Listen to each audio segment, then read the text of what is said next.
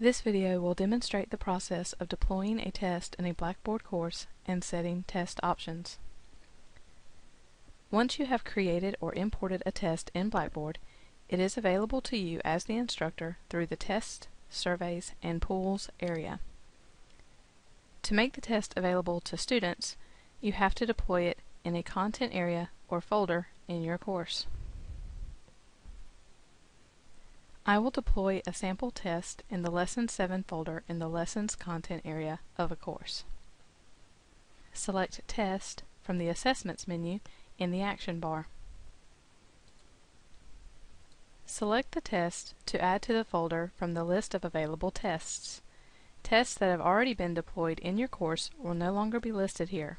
A test can only be deployed in one location within a course. Press Submit to continue.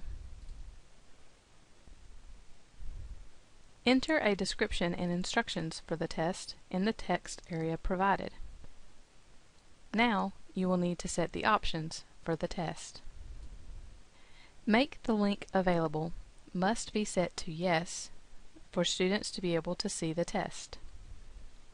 For quizzes and practice tests, you may want to allow two attempts. Turn on the multiple attempts option by clicking the checkbox. Enter a specified number of attempts.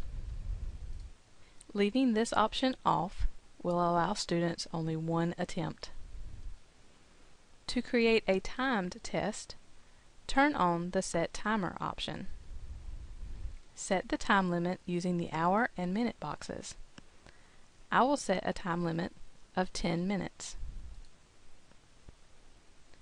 Turn the Auto Submit option on to have Blackboard automatically end the student's attempt and submit the test for grading once the time limit is reached.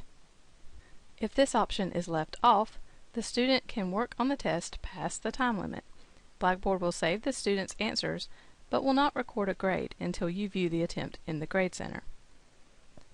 I also recommend turning on the Force Completion option for timed tests. Set display after and display until dates to control student access to a test based on date restrictions. If these options are turned on, students will only see a test during that span of time. You may also enter a due date for the test. Make sure the Include this test in Grade Center score calculations option is on if the test is to be part of the final course grade. Select the type of feedback to show students after the test is submitted. You can show the overall test score, the students' submitted answers, the correct answers, and feedback. Determine how you want the questions to be presented in the test. The questions can all be shown on a single test page, or questions can be shown one per page. Turn on the Randomized Questions option to show the questions in a random order for each student.